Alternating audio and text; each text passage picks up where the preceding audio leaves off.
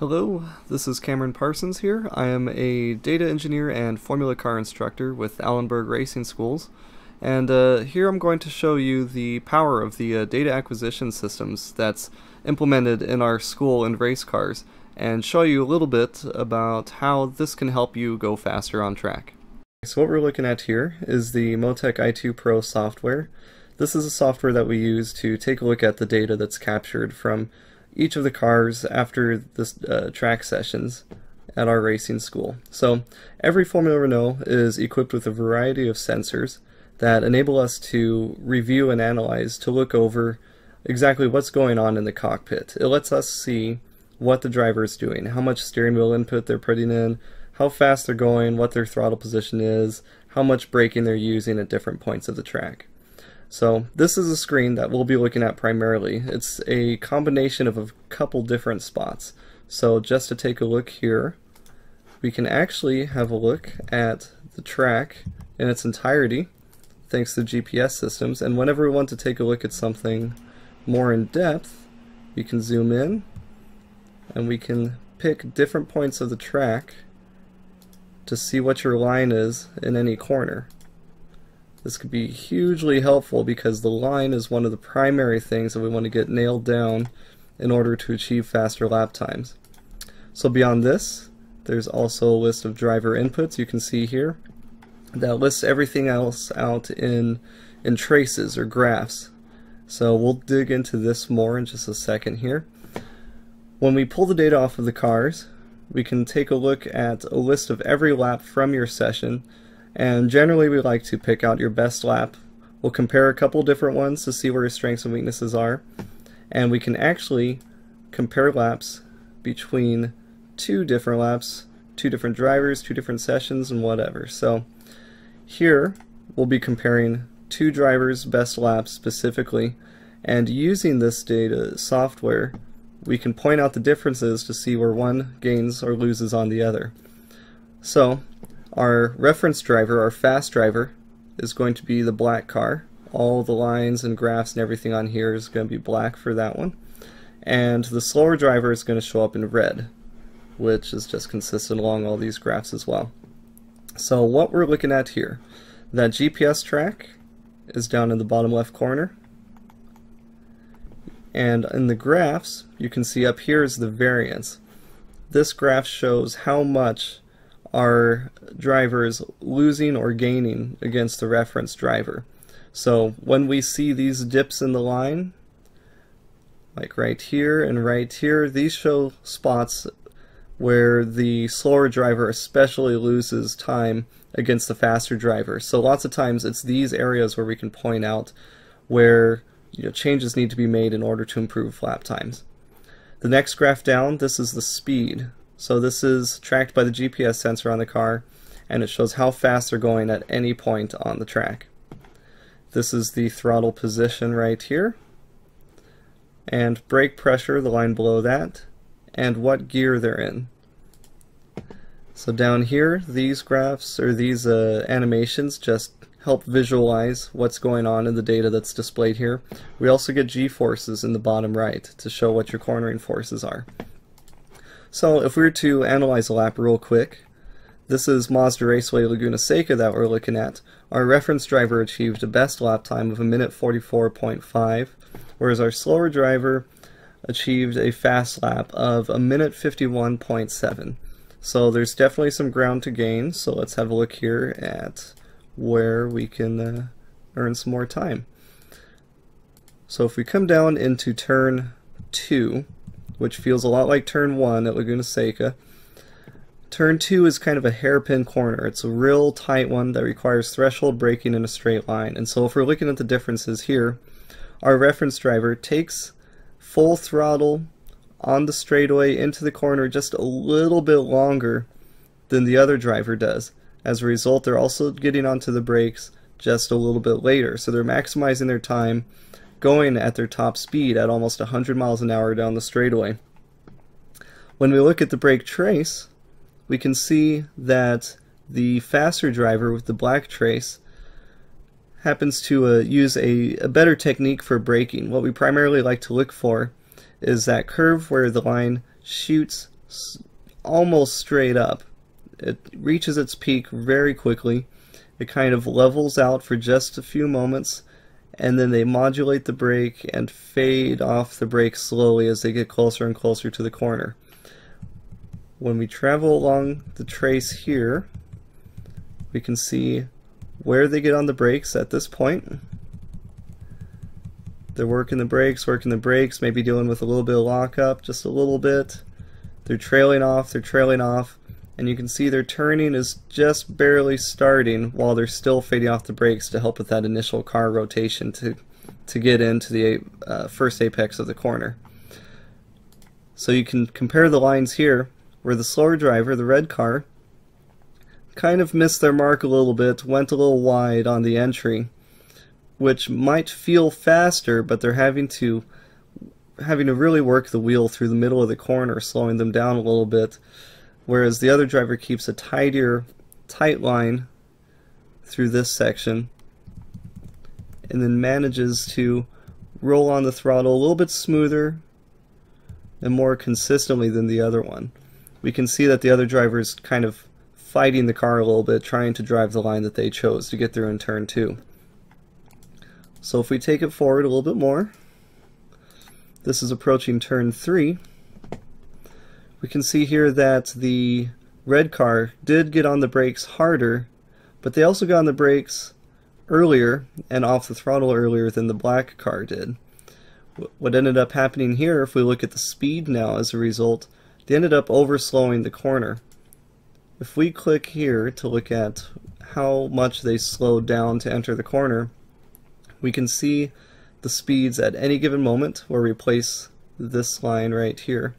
So at this part of the track, where this line is on the graphs, we can see that the red car is traveling at this point at 59 miles an hour, and the black car is traveling at 67 miles an hour. So quite a bit of a difference just by overslowing the corner by what looks to be maybe 10 or 20 feet. And this is where the first dip in the variance starts to really occur. From here on out, that really cost them through the next couple sections.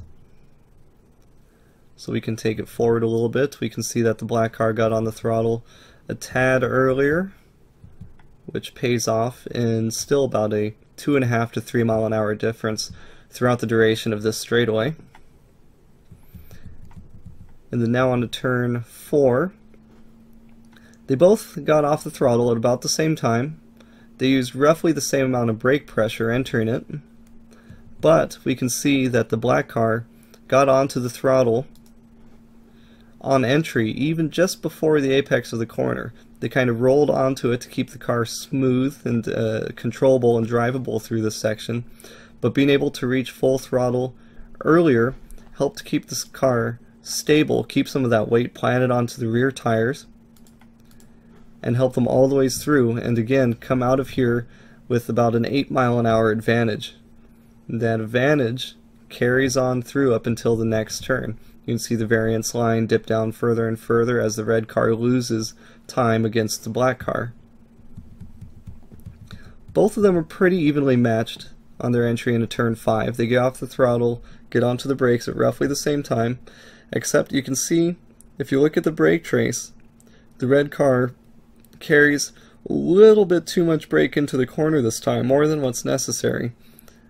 And you can see the difference here in speed, so let's go down to their lowest speed in this section. So, to give you reference where we are, this is turn 5, this section of the track right here. Their difference in speed at their slowest point in this turn is nearly 10 miles an hour. And even at that point, the black car carried a higher rolling speed into and through the corner and is now about to get on the throttle earlier than the other car is which is really helpful coming through turn 5 because you're climbing up a steep hill here, so you want to carry as much momentum as possible coming out of there. Turn 6 is a scary one for a lot of people. It's a high speed turn with a little bit of banking that you really got to take advantage of and put your trust in that it, your wheels, your outside wheels are really going to load up and actually hold the car to the ground a lot better than you'd expect them to. So it's kind of a bravery corner. So we always ask students to build up build up to the speed that uh, that we want out of you, but never to go for it all at once.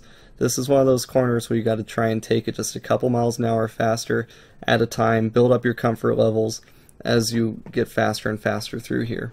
So this is where another big dip occurs. You can see the variance drop, you can see the difference in speed here, and coming down the graph further you can see the difference in throttle position.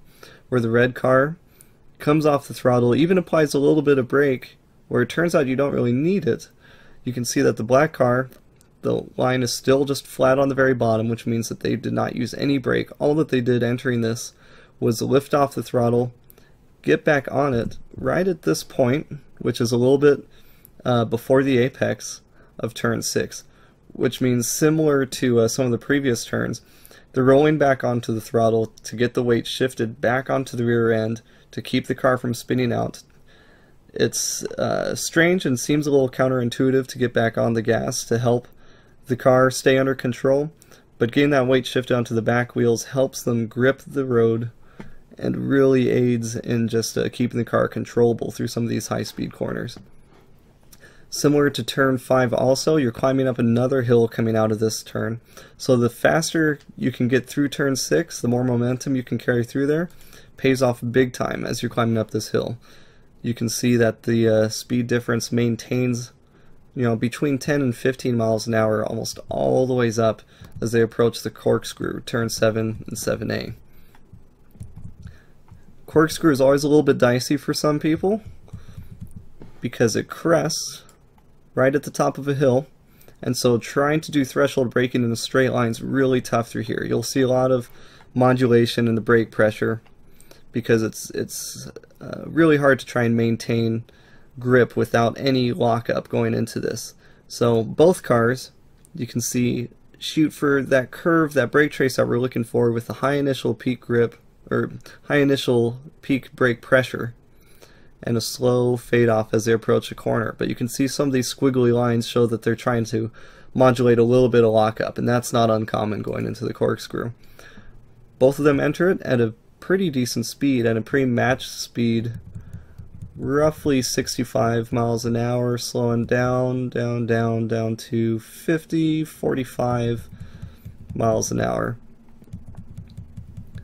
So even though we can see some difference in throttle position here and rolling speed through this corner, because the corkscrew is a lot slower than some of the other corners being only about 40 to 45 miles an hour, there's not as much time being gained or lost here as opposed to, say, turn 6, where they're traveling through at a difference of 20 miles an hour, the difference between 67 and 87. So getting corners like this one, like turn 6, getting that nailed down, the higher speed corner, pays off a whole lot more than slower corners like the corkscrew here. So that's always something to pay mind to, is prioritizing what turns pay off most in lap times. So going further down, now into uh, turn 9. This is a tough one too. The car feels like it wants to understeer a whole lot through this section. So it takes a lot of modulation of the throttle. Usually you don't need to use any brake, but sometimes a light brush of the brake will help get the car settled in a little bit better before your turn in to get into 9. You can see this is another one of those corners similar to turn 6 where there can be some big speed differentials through there and having that difference of 10 to 15 miles an hour pays off right in the variance section here.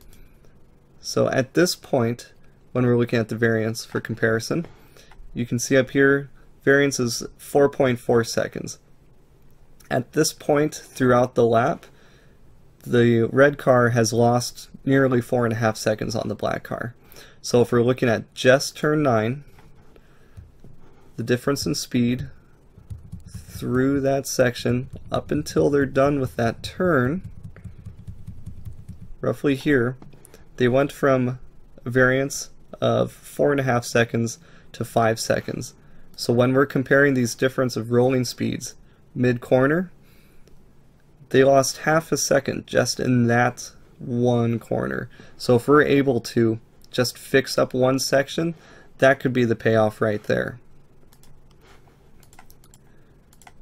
Now approaching turn 10, this one's got a lot of banking. This one's similar to turn 5 and 6, where with that banking you got to put a lot of trust in the track and the car to work together.